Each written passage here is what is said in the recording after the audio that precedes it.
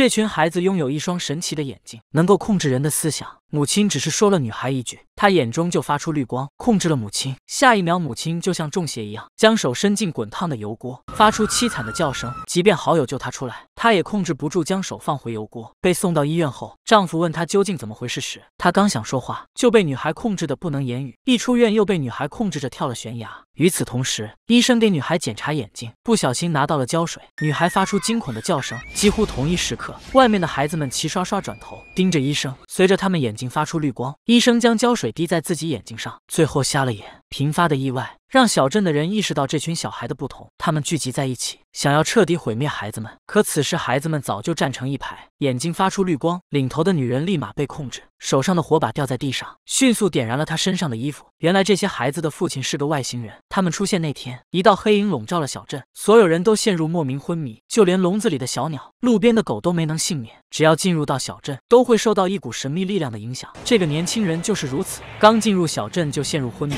下下一秒就和另一辆车撞到一起，年轻人当场领了盒饭。如此诡异的事情引起所有人的注意，警察很快赶到小镇，发现这股神秘力量只影响小镇。为了验证猜想，他们派出探员，戴上防毒面具，身上挂着牵引绳，小心翼翼地越过那条警戒线。可还没走几步，探员就受到神秘力量影响昏迷过去。神奇的是，实习生一回到警戒线这边就苏醒了。他们又派来专家来查明缘由，可面对如此诡异的事情，专家也束手无策。就在大家一筹莫展之时，小镇上的人们又诡异的苏醒，除了几个倒霉蛋，所有人都毫发无伤。随后，警方调查了整个小镇，但都毫无发现。小镇居民也恢复了正常生活。本以为这件事就这样过去，没想到一个月后，小镇所有女人都怀孕了，而且受孕时间都是居民集体晕倒的那天。小镇一时间陷入恐慌，害怕孩子们身体有问题。这件事再次引起轰动。当初来小镇检查的专家来到小镇，他代表社会管理层，鼓励大家生下小小孩，只要是愿意，就会有三十万的奖励。他们觉得这些孩子有极大的研究价值。男人们乐意至极，不仅能有孩子，还能有钱拿。但女人们却害怕这些来路不明的孩子，私下约定一起去做手术。可就在当晚，他们同时梦到自己轻轻抚摸肚子，眼神中满是享受。第二天，集体改变主意，决定生下孩子。就连专家都非常困惑，觉得不太可能，所有人都想留下孩子。几个月后，女人们即将生产，因为是在同一时间怀孕，她们也在同一时间生产。专家专门调来大批批量的医生护士，照顾临盆的女人们。奇怪的是，这些孩子又在同一时间出生，只有一个女。女人出现意外，生产不顺，孩子胎死腹中。专家以尸检为由抱走孩子。大家虽都知道这些孩子出现的诡异，但还是给他们举办了隆重的洗礼，欢迎新生命的诞生。专家和医生给这些孩子做了全面检测，发现他们的 DNA 相同，来自同一个父亲。两人非常诧异，这件事情变得越发诡异。随着孩子们逐渐长大，他们内心的疑惑越来越大，因为孩子们长着一样的银色头发，智商超超高，还没学会走路就已经能拼出自己的名字了，脾气非常大。一旦有人让他们不，快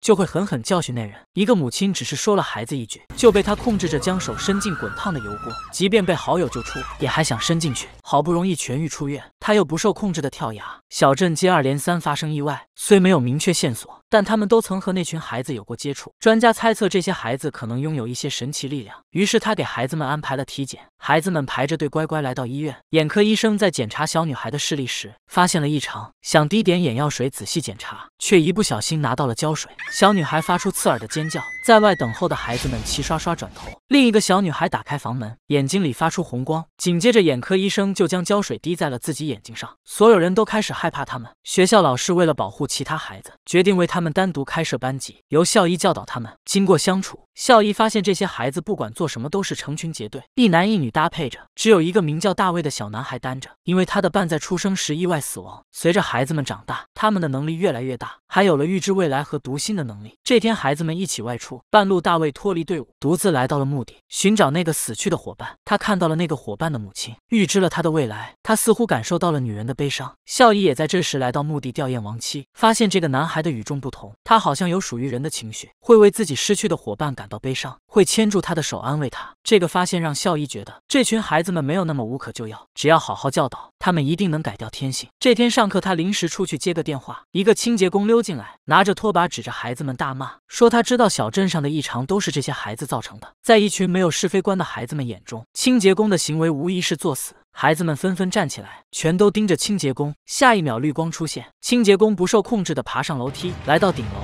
将扫把对准胸膛，毫不犹豫的跳下。解决完清洁工后，孩子们成群结队的离开。这一切都被孝义看到，他感到挫败，跑到专家办公室询问这些孩子究竟是什么。专家告诉他，当年诡异昏迷的地方不止这一处，世界各地好几个地方都有类似的事情发生。他们也是几乎同一时间昏迷，同一时间苏醒。女人们也都在一月后怀孕，生下了满头白发的孩子。接着，专家将他带到自己家，校医看到了当年早逝的孩子，他这才知道这些孩子并不是人类的孩子，而是外星生物。校医责怪专家为什么不将事实告诉其他人，不然也不会有那么多悲剧。专家表示，告诉别人就等于告诉孩子们，到时又不知会发生什么。校医回到家，小女孩通知他，自己和小伙伴要搬到镇上的仓库，还趁机打听专家都和他说了什么。校医将晚上的事藏在内心深处，小女孩没有读到。校医找到了防卫孩子们的方法。第二天，镇上又发生一起由孩子引起的意外事故，中年男人在他们的操控下，驾驶车辆直直冲向油罐车，命丧黄泉。这件事引起全镇的关注。这时，专家找到校医，告诉他一个极为惨烈的消息：其他有银发小孩的地方，一夜之间所有大人和小孩全部身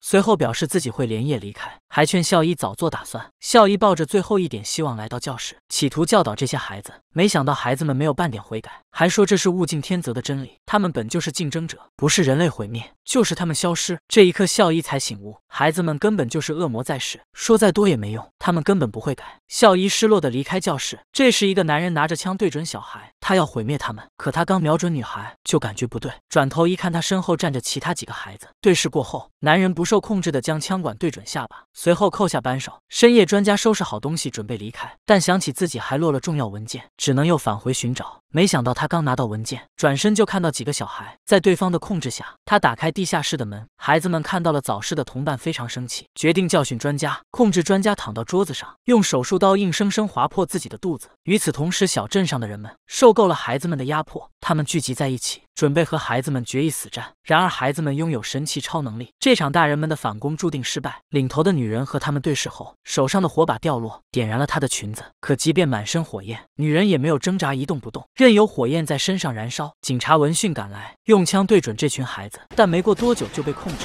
开始自相残杀。几分钟后，就是一地狼藉。孝义在这时赶来，看到了这一切，在伤心难过的同时，更加坚信内心所想，他要和孩子们同归于尽。给定时炸弹定好时候，带着必死的决心来到孩子们面前。他一边和孩子们聊天，一边时不时看钟表。他的异常被孩子们发现，集体对校医使用超能力，企图弄清他心中所想。不过校医早有准备。在内心筑起红墙，抵挡孩子们的超能力攻击。没能如愿的孩子们再次发动超能力，可依旧只看到红墙。校医死命防守。这时，大卫的母亲从他们身后出现，悄悄靠近大卫。在他带走大卫的一瞬间，孩子们集体转身控制大卫母亲。眼看母亲就要受到伤害，大卫一把推倒领头的小女孩。大卫母亲趁机带走了大卫。其他孩子们没心情去管两人，继续对校医使用超能力。在孩子们持续努力下，校医的心理防线被攻破。他们看到了定时炸弹，可惜为时已晚。定时炸弹即将爆炸，没等孩子们反应过来，他们就葬身火海。校医与他们同归于尽，而唯一拥有良知的大卫，则和母亲永远离开了小镇。